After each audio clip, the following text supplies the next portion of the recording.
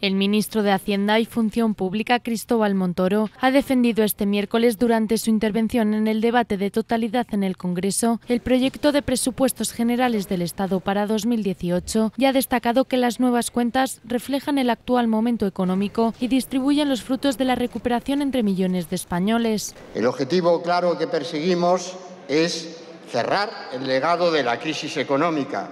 a lo largo de la actual legislatura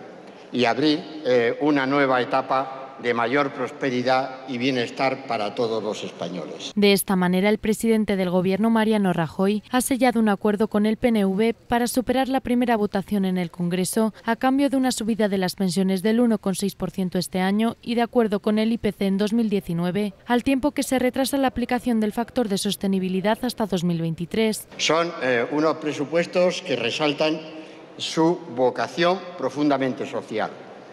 Son los presupuestos que insisten en nuestro compromiso de los últimos ejercicios con la estabilidad presupuestaria,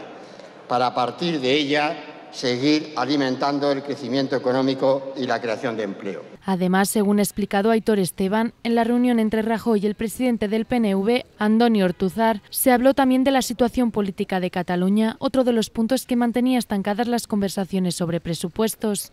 hay un compromiso firme de que en cuanto exista, en cuanto haya un gobierno, uh, no se prolongará ese 155, inmediatamente quedará derogado. Tras esto, ambos consideran que es necesario abrir una nueva etapa de diálogo en Cataluña.